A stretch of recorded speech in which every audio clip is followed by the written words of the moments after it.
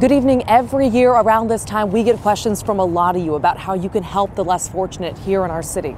Well, today, an answer.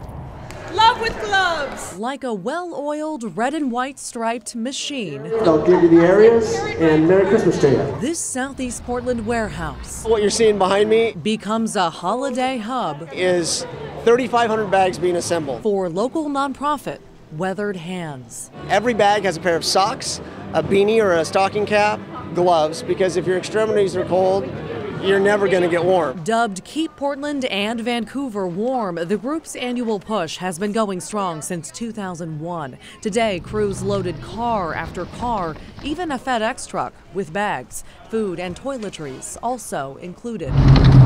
Each volunteer driver is then assigned a delivery area from Clark County all the way down to McMinnville. Are you going to give them to people? hand them out for Christmas. Aaron Seawall and his wife Stephanie brought their three year old, Armand. I'm a teacher and I teach math, French, whatever language. But to key to teach something that is that meaningful and help people, I think it's the most important thing I can give to my child. Are you excited to hand them out for Christmas?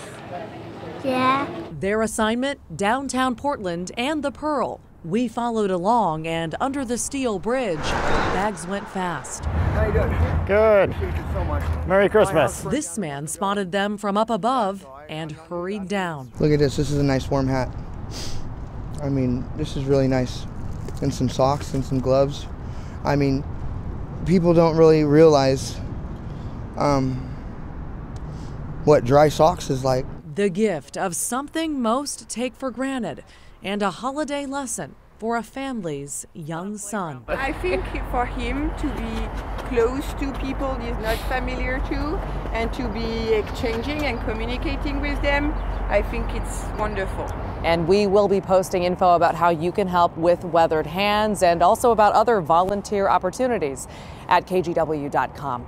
I'm Maggie Vespa reporting, KGW News.